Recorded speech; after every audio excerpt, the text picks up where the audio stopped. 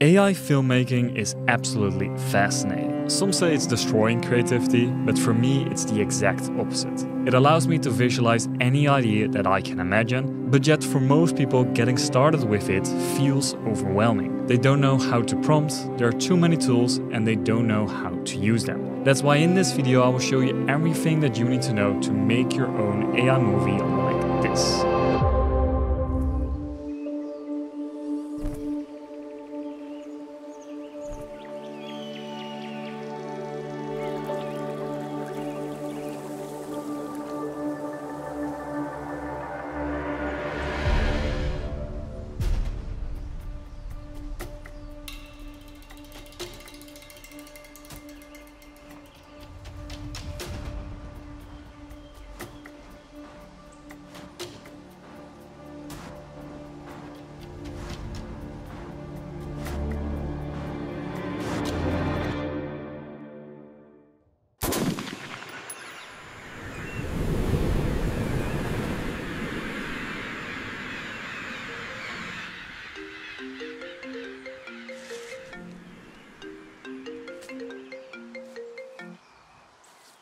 Heard the shot.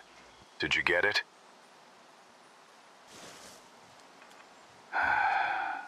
Dan, you didn't miss, did you?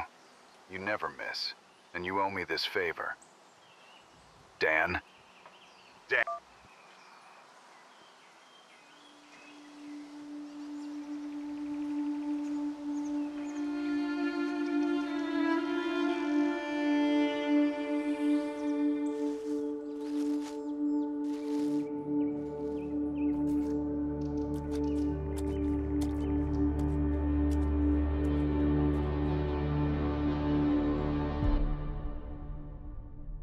To make your very own AI movie, there are three steps that you need to follow after you've established your exact idea. The first step is generating your scenes. After that, the second step is animating those scenes to bring them to life. And the last step, maybe the most important step, is doing post-production. That is editing it, adding sound effects, adding all kind of different effects to make your video come to life. Now make sure to not skip any of these steps and now let's get started with generating our own scenes. For this movie that I'm made, there are two main characters that consistently reappear in these scenes. You have me as a sniper or a hunter, and then you have the unicorn. So the first thing that you need to do when getting started is defining what your character is and making a hero shot. It does not matter what tool you're using. For me, I'm using an all-in-one tool like OpenArt because I can use tools like Nano Banana and Seedream, but I can also use all the different image and video generators like Google Veo3 2.1, Kling 2.5, Sora 2, all of them are in this tool so I don't have to switch and it allows for some consistent workflow of generating my different scenes. Now to make your own hero shot, I'm gonna go over and I'm gonna use Nano Banana for this. In the prompt box, you can simply prompt what you want your character to look like. So for the white unicorn, it is drinking from a shallow jungle stream at dusk, soft rays and the morning sunlight filtering through the canopy and glinting on the rippling water. So I have like all of these different ideas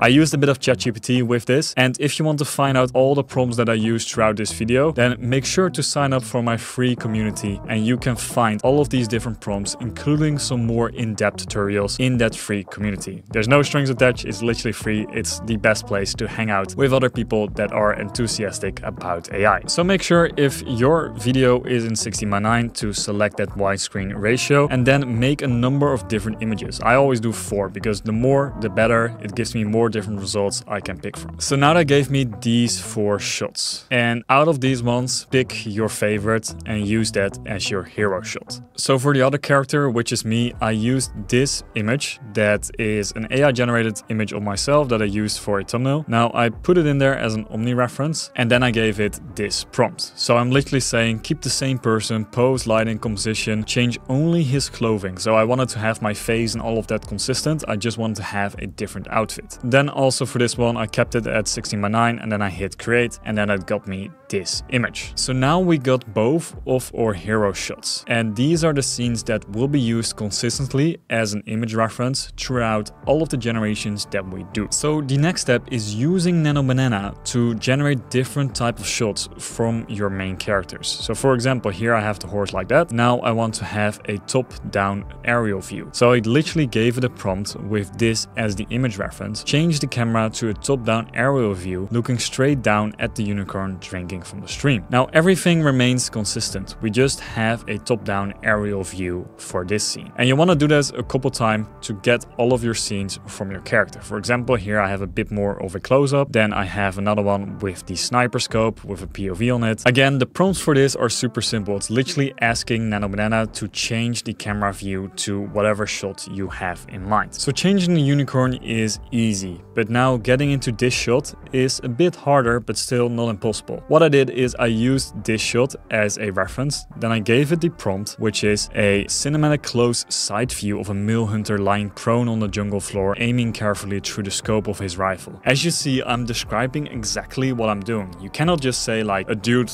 laying on the ground looking through a rifle. While it still might work, it won't give you the exact result that you want. By adding all of these different details, you can get a consistent result and you can match that with all of the other scenes that you already have generated. So as you can see, for me, using that same prompt with that image reference gave me this result. And this is to be the next shot that I'm also using as like an image reference in the rest of my shots. Again, as you can see right here, we can use that original image as a reference image using Nano Banana again. And then we say the hunter looks up, the forest is a little bit darker, and now we have our next scene. We can repeat this process. For example, you can also put in multiple different images. So here I put in that image plus another image of me to keep the character consistent. And then I change the prompts to change the camera to a zoomed in straight aerial top and now we have this different angle of me. Now doing this a couple of times gave me all of these different angles and images of me which we can now use to make or complete storyboards. By the way, the only image that I didn't make through Nano Banana was this one right here. I just couldn't get it to work so I tried a different model and that's also the perk of using a tool like OpenArt where you can switch to for example Hunyuan or any other model to get the exact shot that you want. Okay so now I've put everything into my storyboard. I'm using Figma for this. You don't have to, you can just simply use a Google Doc. But for me, it's easy to visualize everything that I've done, what I want to have happen, and how I want to prompt it to get the exact result that I want.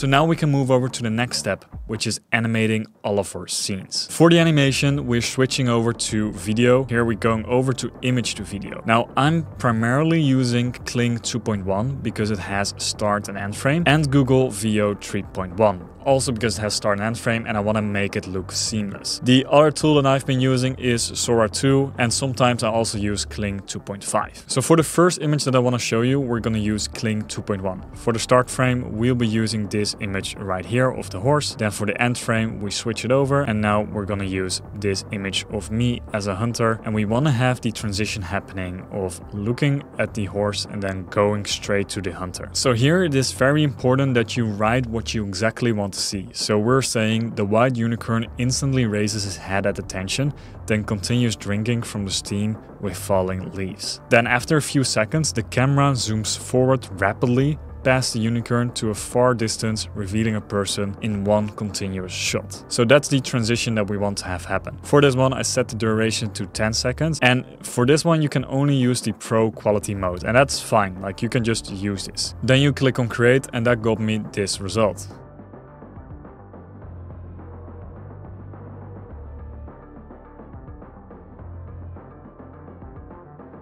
The thing I love about Kling is how fast that motion is. Keep in mind though, you can always like change this or speed this up in the editing. So for example, this part, I've sped it up a little bit to make it a bit faster. Now the thing that I love about OpenArt is how you can extend this scene. So let's say you wanna extend this and you wanna have the same smooth, seamless transition. What you can do here is you can click on grab frame to video. This is not actually what I did, but I just wanna show you right now. So this is a technique that you can use to get those those seamless transitions in between shots. So what you can do is you can grab any frame or you can grab the last frame. By grabbing the last frame, it is using that as a start frame on my next project. So now we have that last frame that we can start and use in the next scene if you want to have that seamless transition. Now let me show you another scene that I find super interesting and where you can use a bit of a different technique. So here I got inspired by this series, The Day of a Jackal. We have this guy looking through his scope and I found it looking super cool. So I wanted to recreate that scene myself. Now I got this image over here of me looking through the scope. I gotta tell you like the eye here is not doing it correctly. Like it should have been the left eye here that is going to look through the scope. Either way, I still found it a cool image and I still wanted to use it. I was also a bit of on a, on a time constraint. So what I did is I used that image. I gave it a prompt where he's slightly moving his face around while he's still looking through the scope. And then that gave me this result. Now it's not perfect yet. We don't have that like blurring around the scope, but we can fix this in post-production. Now for scenes 7.5 and 7.6, I got these two close-ups and I want to have different angles. So for this, I mixed around with Veo 3.1 and Kling 2.5. Now for the first image, I actually used Veo 3.1 and then for the input, I used this image of the horse and then I just set it to have like a fixed camera angle and the horse is just drinking some water from the stream. Now the great thing about this is it also generates sound. But don't worry though if you don't have sound generated because you're using like Kling 2.5. Kling 2.5 also doesn't generate any sound. We can still add sound effects at the end in post-production. So this is the shot that we got from Veo 3.1 and keep in mind this is done with the fast model because I wanted to save some credits. Now for the second shot I actually used Kling 2.5 because in my opinion it has better prompt adherence and for this one I wanted to slowly close its eyes and it actually did that perfectly. Like it's like damn I'm gonna get killed today. Like that's that's how the unicorn was looking. Yeah he was screwed. Then we have the aftermath when I took the shot so I don't actually have me taking the shot on film. I just have this scene where I look like oh, up and then I made a cut because like this part kind of got like screwed over. So I didn't want to use that. So now we have like all the scenes from us taking the shot and then we get the phone call. And the phone call is actually interesting because here we got more things going on that I think are worth mentioning. The first thing I used is Kling 2.5 again for better prompt adherence because we got slight a few things going on here. We have the camera rotating and then we also have me getting out my like iPhone out of my pocket. This only worked using 2.5. I also picked 10 seconds so we have like plenty of time to have this action happening. For the next scene where we have the close-up of me holding the phone next to my head. I actually used a bit of a trick for that. So what I did is I took a screenshot of like this segment right here. Then I put that into Nano Banana to like upscale it a little bit and to refine the details a little bit better. And then I used it as a reference right here. So we have like the original image right here. And then I gave it my other prompt with Kling 2.5. So tracking camera, the man slowly straightens himself, standing up, holding his phone close to his ear. And he does not say a word. He just maintains a blank deadpan stare forward. Same thing here, I used Nano Banana to get a different angle from me being on the phone. Moving on, we got this scene where the unicorn is appearing. So the unicorn is not dead, like that's the whole plot twist from this movie. So we have me standing there, bit flabbergasted, and then I put the phone down and then we have this end frame of the unicorn being there. This is simply done by just using Nano Banana and adding in a unicorn there in the background, then using start and end frame and giving it a very slow cinematic pan. I did the same at the last shot where I have like the tree and that is the complete video. Now that you got all your scenes ready, before you put them into your editor, you want to upscale them. Now, if you go over to the video, so for example, you can click on any type of video, you can already say video upscale right here. This will bring you over to using Topaz Labs where you can upscale it to any type of resolution, for example 4K, and you can select your frame rate. Now you can enhance the video and this will give you better results. You don't have to do this, but it will make your video look a bit nicer. After that, it is time for the last step, which is post-production. And for this, you can use any type of editor. You can use CapCut, DaVinci, or in my case, I'm using Premiere Pro. Now, once you're in Premiere Pro, you want to import all of your videos. Then what you want to do is you want to put all the clips together and you want to make a few cuts, a few transitions. With most movies that you watch, there are not many long sequences. Unless you're watching the movie 1917, that one has like a 8 minute long sequence or something. So in my case, I wanted to keep it short and like fast paced throughout some of the parts. You have slower parts and faster parts. Now for the beginning especially, I wanted to have a few long shots because I wanted to slowly ease into it. So for that I used a bit of sound effects to make it build up the movie. Then I added in some blurs and some speed ramps to also fix a bit of the minor AI mistakes that I have. For example, when this scene of the hunter is revealed, I didn't quite like how it was pretty pixelated and I wanted to fix that by using a bit of a motion blur so you don't see it until the very last moment. I also added a blur around the sniper scope because I wanted the viewer to look as if you're looking through the sniper scope. And that's a trick that filmmakers use uh, while editing a video to put some direction on where they want you to actually look. Then we have sound design and this is a whole world in its own. This could be a separate tutorial. And in fact, if you want to have the more in-depth behind the scenes of how you can edit your videos, then please make sure to join my free Skool community. In there, me and my editor go through the video and he will help explain how we edit in the sound design for this video. Because like for this, we used 11 Labs and we wrote all the different sound designs. As you can see on the timeline, it is quite a lot to go over. But you want to add in like multiple different sounds, layer them on top of each other to really bring everything to life. Lastly, we have adding in the voiceover. For that, I used 11 Labs again. And then we have final touches, which is a bit of color correction. So now you have completed the editing, you can export your video and then you have completed your very first AI movie.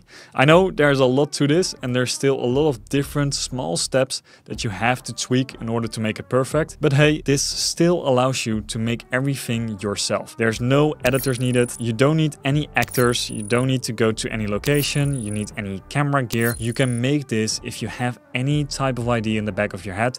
You can visualize this quickly using AI. Keep in mind the tools that I'm using now might be outdated quickly as AI is only getting better and better. The good thing is by using an all-in-one AI tool like OpenArt is they constantly update with the latest new AI tools. So for example, when Veo 4 is coming out or the next Kling or whatever, you will have it on that tool. I will leave the link to OpenArt in the description down below alongside with a link to my community so you can join it, you can go through all of my prompts, you can see the behind the scenes of how we made this and you can continue to chat with me over there. Click the video that's on the screen right now if you want to learn what the best all-in-one AI tool is for you. I compare all of them and I found a few that are pretty good, so it's worth it to check it out.